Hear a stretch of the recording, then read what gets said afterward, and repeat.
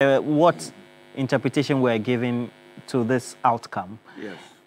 They're only saying that the speaker doesn't have the power to declare seats Yes. within the power that he's clothed with Yes. in the chamber. Yes. So basically, it means that if you want to contest somebody's position to still hold himself or herself as a member of parliament while taking these actions, you go to the High Court, right? Yes, I think basically that's what they said. But before I come to that, let me just give some preliminary response. You only have three minutes, sir. Uh, Three minutes. Okay, I'll come to that.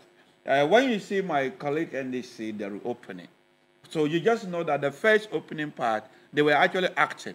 All the NDC communicators have been trained that when you do opening, you stay true to your communist socialist roots by praising uh, John Mahama and condemning uh, uh, what they call a Bawumia before you start. So this, the first part was acting. Um, the second part, I would come to your question very quickly. Um, and then I also respond to my colleague here who said, what is the implementation now? As I've already said, I kept mentioning to general principles of law recognized by civilized country.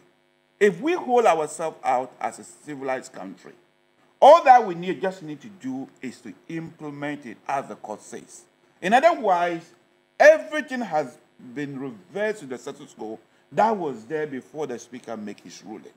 That when you have the opportunity to go back to parliament, all that you need to do is the minority resume their side, majority resume their sides. Yes, so here, as we said, Professor Mike was wrong in that interpretation. Saying that the Speaker Parliament now is wrong doesn't mean we have breached any principles. You see, court is passive. You have to come to them before they will act. The Supreme Court cannot be popping their nose, finding out, do you have a case for me to resolve? Somebody will need to knock their doors. So the fact that nobody knocked their doors when Professor McQuay was made that particular ruling does not mean if you knock their doors now, they will not say they will not make that ruling. So let's get that right. Another one would be the principles aspect. I mean, you can't argue. I mean, I, I fail to see where my colleague was talking about principles. It's actually John Mahama who doesn't have principles. If you look at the Electoral Commission case, for example, is that a principal person? When he was a president, he said, state your case and let the Electoral Commission decide. He is now in opposition, and he's saying the Electoral Commission must subject themselves to and they should follow what the NDC say. So this is actually a good example of a president who does not follow principles. So for me, and then allegation to that Afenyo-Markin is not a good leader. I mean, if you listen to him recently, if you if you listen to him recently, the point that he made clear is that he has tried over the weekend to engage with the speaker. He has tried. He has used chiefs. He has made several phone calls to the speaker.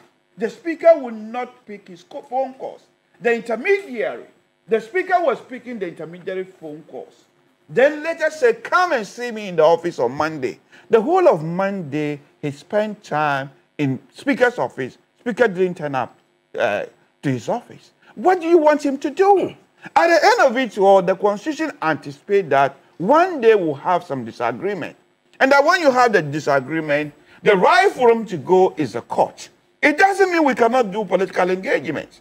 Yes, we will still do political engagement, but the speaker will need to implement this in the interest of the country. Right now, I am troubled that he is not doing so in the interest of the country. And what they are really doing is that they are providing role modeling to several citizens. Because if you are in parliament making law, expecting citizens to obey, and you are refusing to obey the provisions of the constitution and orders from, from the Supreme Court, it will not surprise me one day if a litigant turned out to court and said, I refuse to obey the laws Parliament has made because that very Parliament is How do you draw that unlawfully." conclusion? If you refuse to obey con- constitutional provision, somebody go to the Supreme Court and you say you will not obey, you will not implement it. Who, who has said they will? They will No. I, what I'm saying is that if the are, you, are, you, speaker are you speaking about a, a, hypothetical no, situation? I am talking about now that the Supreme Court has spoken. I expect the Speaker and any other member of Parliament to comply with it. Very well. And I'm saying that if you fail to comply with it, you are more or less telling citizens that you can always disobey the law. You are training huge number of uh, citizens to be civil disobedience. You say you will not obey. Because if you you will not have the moral right to tell people to obey the laws you make, when you yourself will not is refusing to obey orders by the courts. So for me and for you, look, what I don't want to even direct. Uh, well, your response. Look, one and a half years ago we were together.